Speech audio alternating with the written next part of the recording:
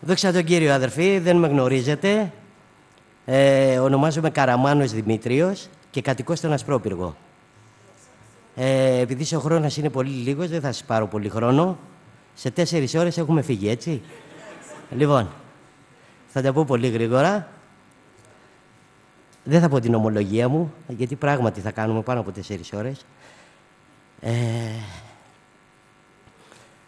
λέει μέσα ο Λόγος του Θεού, λέει ο βασιλιάς αφού έκανε γάμο και κάλεσε, λέει,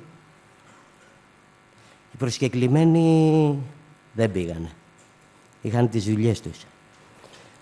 Και έπρεπε ο Χριστός να κάνει ένα στρατό με όχι και πολύ έξυπνους, όχι και πολύ σοφούς. Εγώ, ας πούμε, έχω πάρει ένα χαρτί από το στρατό το οποίο από το ψυχιατρίο έλεγε αγχώδης ψυχονεύρωση, παρατόμου συναισθηματικός ανορίμου και δυσπροσδιάρμος του. Αυτό είναι το, το πιστοποιητικό μου. Δεν έχω άλλο.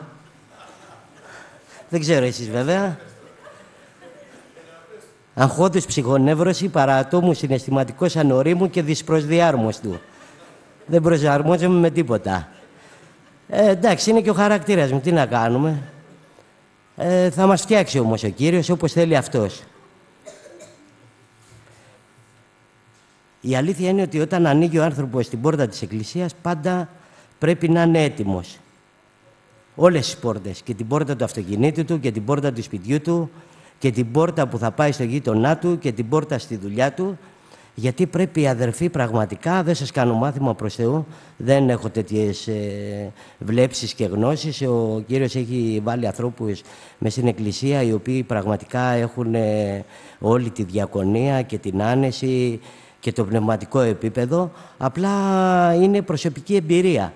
Επειδή οι φίλοι μου μου είπαν, δεν θα σας κάνω την ομολογία μου, θα σας πάρω έτσι πολύ γρήγορα θα τα πω, αυτά που είναι να πω. Και θα διαβάσω μόνο ένα εδάφιο. Ε, επειδή οι φίλοι μου είχα φτάσει σε ένα σημείο στα 30 μου να μου πούνε Καραμάνο έτσι όπως τα έκανες, συνήθως με φωνάζουν όλοι και Καραμάνο. Ε, καραμάνο έτσι όπως τα έκανες, το μόνο που μπορείς να κάνεις είναι να αυτοκτονήσεις. Μόνο έτσι καθαρίζεις. Και τελικά δεν το έκανα, δεν τους έκανα τη χάρη. Ο φίλος μου όμως, ο κολλητός μου, τους την έκανε τη χάρη και αυτοκτόνησε. Και δεν τον πρόλαβα να του μιλήσω και από τότε πραγματικά αδερφοί όπου πάω και όπου σταθώ ε, πάντα γιατί δεν ξέρεις αδερφοί ποια θα είναι η επόμενη στιγμή ούτε η δικιά σου ούτε τους συνανθρώπους σου. Πάντα τους ομολογώ ας πούμε το Χριστό πόσο καλός είναι. Ε, και θα σας πω έτσι ε, περιγραμματικά ας πούμε προχτές ε, ενώ είχα ένα ραντεβού να πάω να δω κάτι αυτοκίνητα σε μία τράπεζα, ε, είχα πολύ χρόνο, γιατί είχα ραντεβού 11 η ώρα και κατά τις 10 ε, και 4, δηλαδή είχα φτάσει πολύ νωρίς.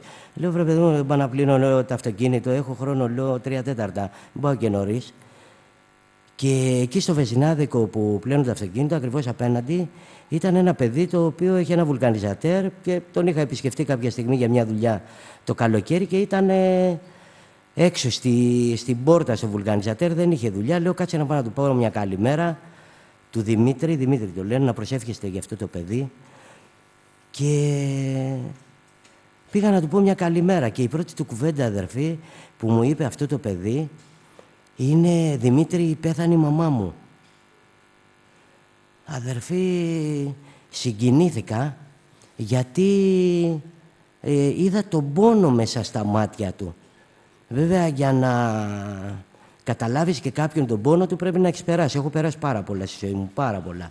Και καλά και άσχημα και τα πάντα, τα πάντα. Πολλές ζωές, τις όλες τις ζωές έχω κάνει.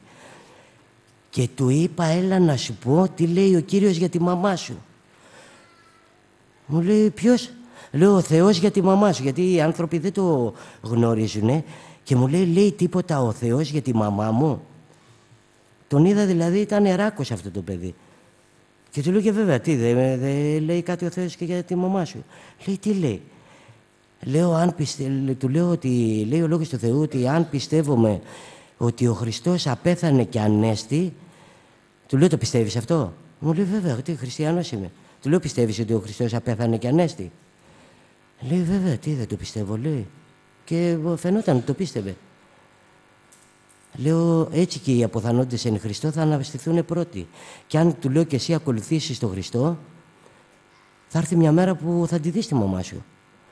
Αδερφοί, δεν, δεν είπαν πολλά γιατί έπρεπε να φύγω κιόλας. Ε, πέντε λεπτά μιλήσαμε δέκα και μου λέει Δημήτρη, εσύ σήμερα δεν ήρθε τυχαία εδώ πέρα στο, στο μαγάζι μου. Και μου λέει σε δύο λεπτά μέσα έγινα άλλος άνθρωπος. Όχι από μένα αδερφή. Εγώ άμα πω τις φιλοσοφίες μου και τα σκεπτικά μου, πάει. Θα το χαντακώσει τον άλλον. Αλλά είναι πράγματα τα οποία τα λέει ο Κύριος, αδερφοί. Είναι μέσα από το λόγο του Κυρίου μας. Θα ήθελα να σας διαβάσω και ένα εδάφιο. Είναι, στη... είναι πολύ ωραίο εδάφιο, θα σας αρέσει όλους νομίζω. 951 στον Ιωάννη. Στο Ιώτα Δέλτα είναι το πρώτο εδάφιο. Λέει ας μη ταράτετε η καρδία σας, πιστεύετε στο Θεό και εις εμέ πιστεύετε. Τι να πω αδερφοί, σας εύχομαι τα πάντα. Θα σας τα χαρίσει ο Κύριος γιατί εσείς γνωρίζετε τι θέλει ο καθένας. Βέβαια όλοι μαζί θέλουμε μια μέρα να βρεθούμε εκεί, κοντά Του. Ο Θεός να σας ευλογεί.